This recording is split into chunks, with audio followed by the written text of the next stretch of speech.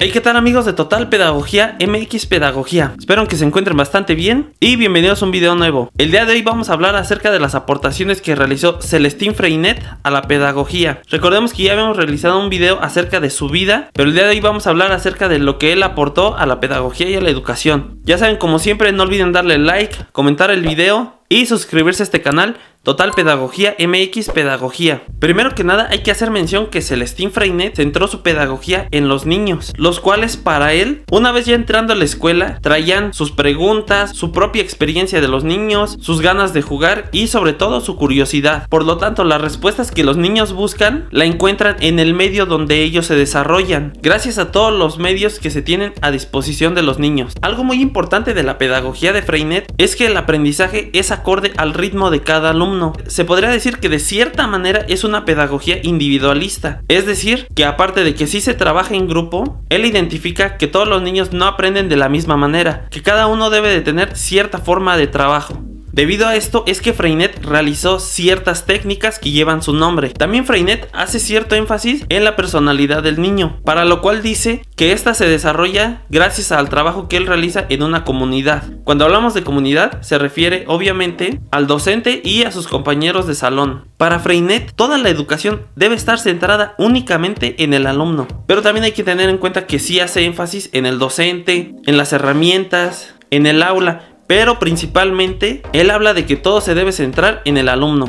Celestín Freinet menciona cuatro principios fundamentales en la pedagogía. La primera de ellas es expresión, comunicación y creación. Son funciones prioritarias del individuo que permiten al niño construirse como persona. El segundo es el tanteo experimental. El saber no puede transmitirse unilateralmente del maestro que sabe al alumno que no lo hace. El niño, a partir de lo que sabe y conoce, adquiere otros saberes, al mismo tiempo que pone en marcha un método de búsqueda, medios de adquisición, un espíritu crítico, un método de análisis y de síntesis.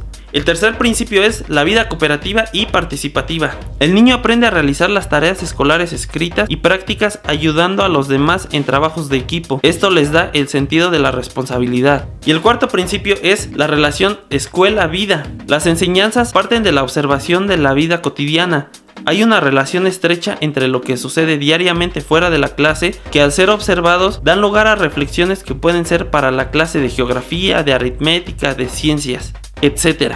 El niño con ayuda del docente es que va construyendo su personalidad. Por eso los docentes hacen hincapié en la salud, en la motivación, también la persistencia del niño en las capacidades que él tiene para crear y para modificar, capacidades activas, desarrollarse en su máximo potencial, en la riqueza del medio educativo, en el material didáctico y también en las técnicas, las cuales desarrolló Freinet, que posibilitan la educación natural, la educación viva. Ahora sí vamos a hablar principalmente del aporte pedagógico que realizó Freinet, que son las técnicas Freinet. Hace rato hablábamos de que Freinet hacía hincapié en que cada uno de los alumnos aprendía de diferente manera.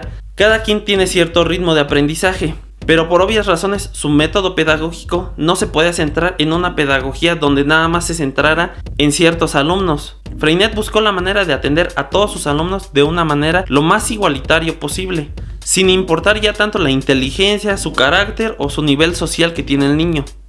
Las técnicas pedagógicas de Freinet son las siguientes. El texto libre, la imprenta escolar, el libro de la vida, el fichero de cálculo, biblioteca de trabajo, el diccionario cooperativo, etc. Básicamente el texto libre consiste en que el alumno elige un tema el que él quiera y de esa manera él va desarrollando o va creando una historia como el niño quiera. Esto puede ser de manera textual o de manera oral, pero básicamente es eso. El niño elige el tema y se puede decir que va contando un cuento, pero de la manera en que el niño quiera, con los personajes que quiera, la historia que quiera, la trama que quiera, lo que sea.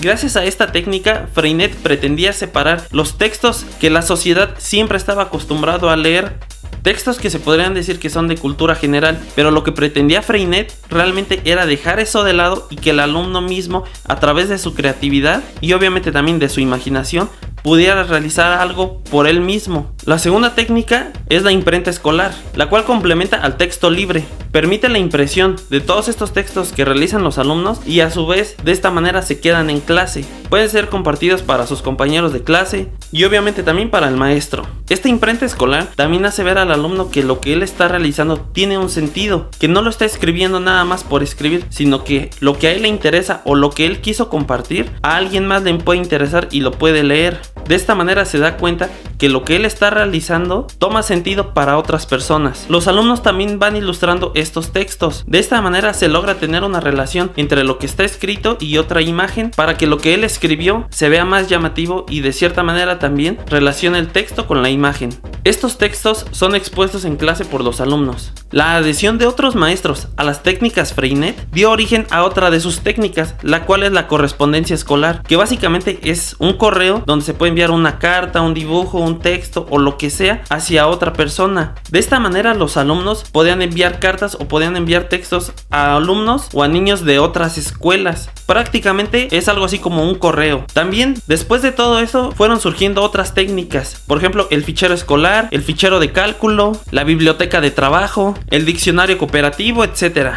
Y todas estas técnicas constituyen la base sobre lo que se desarrolló la enseñanza activa, la cual menciona que los alumnos deben estar en constante actividad. Pero también la finalidad de estas técnicas, pero también la finalidad de estas técnicas es que el alumno no esté haciendo una actividad por hacerla, sino que tenga un trasfondo. Es decir, que si está realizando X actividad, pueda desarrollar su motricidad o pueda desarrollar su personalidad, pueda desarrollar sus conocimientos en matemáticas, etc. Las obras más importantes que realizó Celestine Freinet son las siguientes. La educación por el trabajo, el tanteo experimental, ensayo de psicología sensible, por una escuela del pueblo, hacia una pedagogía del siglo XX, las invariantes pedagógicas, enfermedades escolares, la formación de la infancia y de la juventud, la educación moral y cívica y el texto libre.